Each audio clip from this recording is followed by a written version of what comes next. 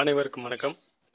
இந்த வீடியோவில் லாண்ட்ரி தொழிலுக்கான அயனிங் மிஷினை பற்றி நம்ம பார்க்கலாம்.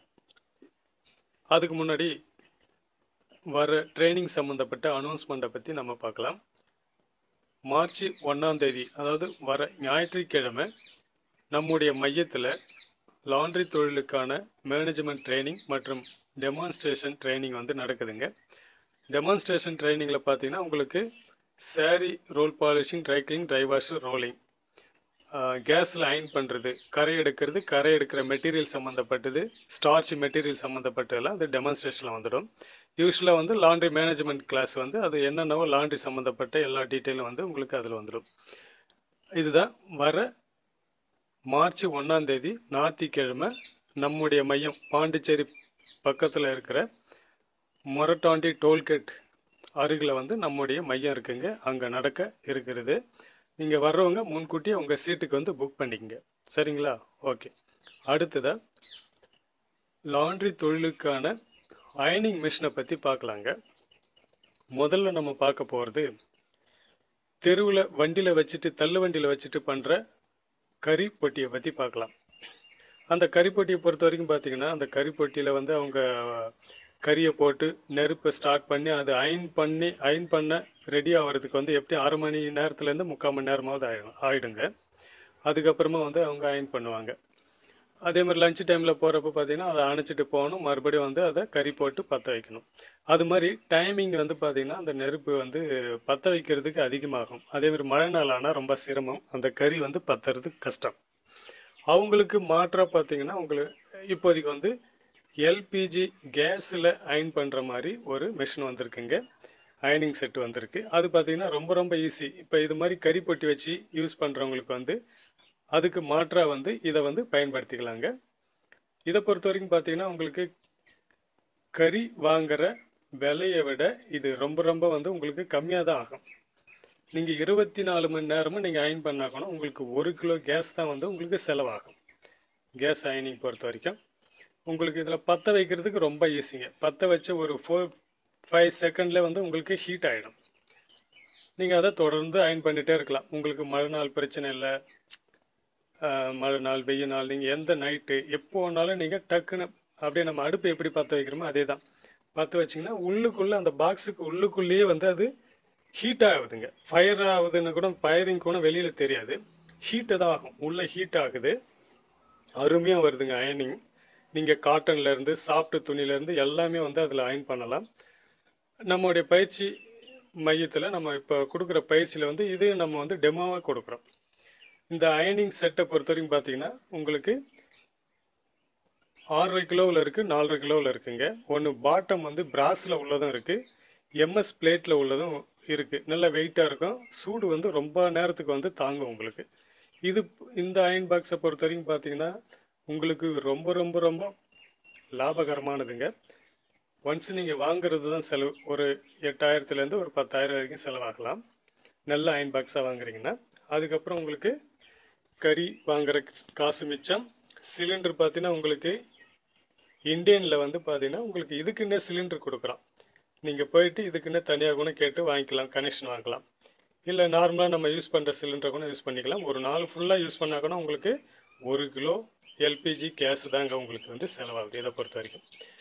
அடுத்ததாக பார்க்க பார்க்குறது என்னென்னா நிறைய பேர் பார்த்திங்கன்னா எலக்ட்ரிக் பவரை யூஸ் பண்ணி அயனிங் பண்ணுறாங்க டைரெக்டாக இது தமிழ்நாட்டை பொறுத்த வரைக்கும் பார்த்தீங்கன்னா உங்களுக்கு எலக்ட்ரிக் பவர் சார்ஜ் வந்து அதிகமாகும். இது வந்து ரொம்ப ரொம்ப வந்து நீங்கள் ஒரு நாள் ஃபுல்லாக உழைக்கிறீங்க. அந்த உழைக்கிற காசில் வந்து உங்களுக்கு ஒன் தேர்டு வந்து அவங்களுக்கே கொடுக்க வேண்டியதாக கரண்ட்டு பில் கட்டுற மாதிரி இருக்கும். இது வந்து உங்களுக்கு அந்த அளவுக்கு லாபகரமாக இருக்காது. இதை விட உங்களுக்கு கேஸ் வந்து பெட் பெட்டராக இருக்கணும்னு நான் சஜஸ்ட் பண்ணுறேன் அதுக்கடுத்தா பார்த்தீங்கன்னா ஸ்டீம் அயனிங் நிறைய பேர் வந்து ஸ்டீம் அயனிங் வந்து லைக் பண்ணவங்க. அதில் நம்ம தீர்த்துறதுக்கும் கொஞ்சம் ஈஸியாகவும் இருக்கும். வெயிட்லெஸ்ஸாகவும் இருக்கும். ஈஸியாக இருக்கும். நீட்னஸ்ஸாக வரும். அது வந்து மேக்ஸிமம் வந்து நிறைய பேர் வந்து லைக் பண்ணுவாங்க. எல்லா துணியும் பண்ணலாம்.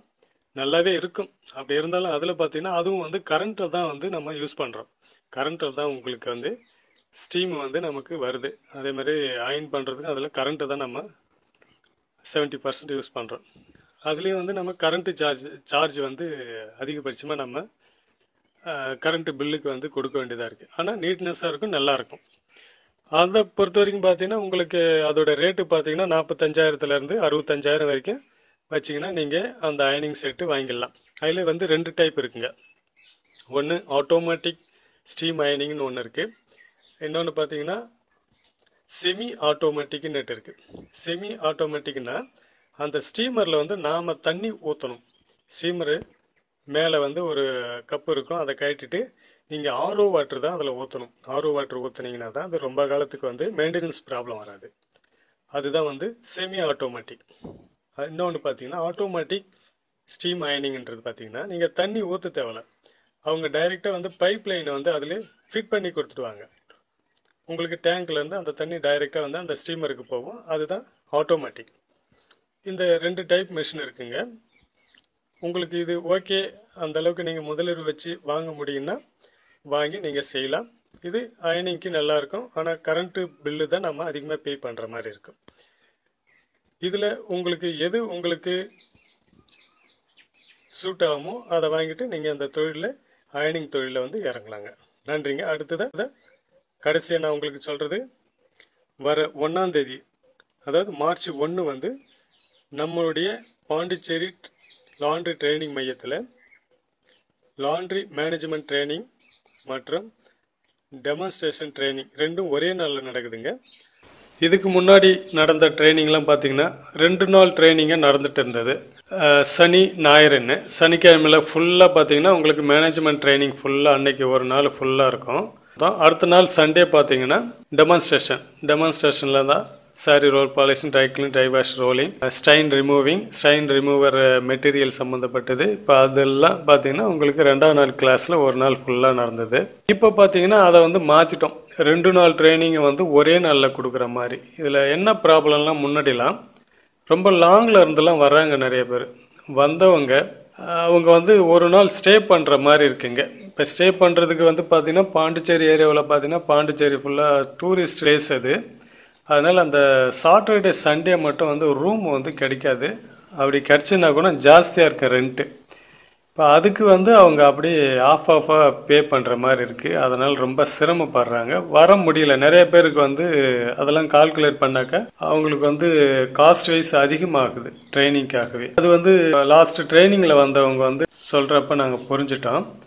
அதே மாதிரி அவங்க வர்றவங்களும் வந்து பார்த்தீங்கன்னா லாங்லேருந்து வர்றவங்க இங்கே பாண்டிச்சேரி பொறுத்த வரைக்கும் பார்த்தீங்கன்னா அந்த ட்ரிங்க்ஸ் வந்து கொஞ்சம் சீப்பாக இருக்குன்றதுனால அதில் கொஞ்சம் செலவு பண்ணிடுவாங்க போல இருக்கு. அதனால அவங்களுக்கு அடுத்த நாள் ட்ரைனிங்கை முடிச்சுட்டு வீட்டுக்கு கிளம்புறப்ப அவங்களுக்கு ரொம்ப சிரமப்படுறாங்க. சில பேர் வந்து நம்மக்கிட்ட வந்து அப்ரோச் பண்ணுறாங்க சார் இது மாதிரி போக காசு இல்லை இது மாதிரி ஆயிடுச்சுன்றாங்க. அதெல்லாம் நமக்கு வந்து சிரமமாக இருக்குது அதனாலே வந்து போன ட்ரைனிங்கில் வந்து சின்ன ஒரு பிரச்சனை வர மாதிரி இருந்தது. இந்த பேமெண்ட் பிரச்சனை. காசு இல்லாமல் இது மாதிரி ஆனதுனால அதனால நிறையா அவங்க ஸ்பெண்ட் பண்ணுற மாதிரி வந்து நான் தெரிஞ்சிட்டேன். நிறையா வந்து செலவு பண்ணுறாங்கன்னு ன்ற மாதிரி. அதனால அதெல்லாம் கட் பண்ணிட்டு என்ன பண்ணலாம்னு யோசிக்கிறப்போ இப்போ நம்முடைய அரசு சார்பாக சில ஆலோசனைகள் கொடுத்தாங்க. என்னென்னா இது மாதிரி ரெண்டு நாள் பயிற்சி ஒரே நாளில் கொடுத்துடுங்க. ஏன்னா ஸ்டார்டிங் தானே. அவங்க ஸ்டார்ட் பண்ணுறதுக்கு தானே வராங்க ட்ரைனிங்கு இப்போ அது வந்து அவங்களுக்கு யூஸ்ஃபுல்லாக இருக்குமே என்ற ஒரு ஆலோசனை கொடுத்தாங்க. அது மட்டும் இல்லாமல் சில என்ஜிஓஸில் இருந்து சில கருத்துக்களை சொன்னாங்க. இது மாதிரி உண்மை தான் இது. முதல்ல ஸ்டார்ட் பண்ணுறவங்களுக்கு வந்து அவங்களுக்கு பேசிக் ட்ரைனிங்கே போதுமே. நீங்கள் ஒரு நாள்லேயே கொடுக்கலாம். அதாவது ஒரே நாளில் கொடுத்தீங்கன்னா அவங்களுக்கு வந்து ஃபீஸும் கம்மியாக இருக்கும் ஒரு நாள் ட்ரைனிங்ன்றப்போ அவங்களுக்கு செலவும் அதிகம் இருக்காது. வருவாங்க காலையில் வருவாங்க அவங்க நைட்டில் வீட்டுக்கு கிளம்பிடுவாங்க. இங்கே தங்க வேண்டிய அவசியம் ஏற்படாதுன்னு சொன்னாங்க. அவங்களுடைய ஆலோசனை கேட்டு நாங்களும் அதை திங்க் பண்ணி வந்து ரெண்டு நாள் பயிற்சியை ஒரே நாளில் கொடுக்கறதுன்னு முடிவு பண்ணிவிட்டு இதுக்கப்புறம் வர பயிற்சி எல்லாம் வந்து ஒரே நாள்லேயே நாங்கள் வந்து அந்த ரெண்டு நாள் பயிற்சியை வந்து கொடுக்குறோம். கொஞ்சம் டைம் எடுத்து கொடுக்கலான்னு இருக்கிறோம். அதனால இதுக்கப்புறம் வந்து ஒரு நாள் பயிற்சி தான் வந்து நடக்கும். அந்த டெமோவும் மேனேஜ்மெண்ட் ட்ரைனிங் ஒரே நாளில் கொடுக்குற மாதிரி இருக்கிறோம். அதே மாதிரி உங்களுக்கு ஃபீஸும் வந்து ரொம்ப ரொம்ப கம்மியாக தான் இருக்கும். முதல்ல ரெண்டு நாளுக்கு கொடுத்த ஃபீஸ் வந்து இப்போ ஒரு நாள் ஒரு நாளுக்கான ஃபீஸ் மட்டும் கொடுத்தா போதும். அதனால் உங்களுக்கு செலவு ரொம்ப கம்மி. இதனால் பார்த்தீங்கன்னா தங்க வேண்டிய அவசியம் வராது. ஏன்னா நிறைய லேடிஸுங்கெல்லாம் வர்றாங்கன்றப்போ வர கால் பண்ணுறாங்க ஆனால் ரெண்டு நாள் இருக்கணுன்ற மாதிரி முன்னாடிலாம் இருந்தது. இப்போலாம் அது மாதிரி இல்லைல்ல. ஒரு நாள்ன்றப்ப அவங்க வந்துட்டு அவங்களுடைய வேலையை முடிச்சுட்டு அவங்க வீட்டுக்கு கிளம்பிடலாம். அது அதனால் நாங்கள் வந்து ஒரு நாள் ஆக்கிட்டோம். இது எல்லாருக்கும் பயனுள்ளதாக இருக்குன்னு நாங்கள் நம்புகிறோம் வாங்க பயிற்சியில் சந்திக்கலாம். நன்றிங்க.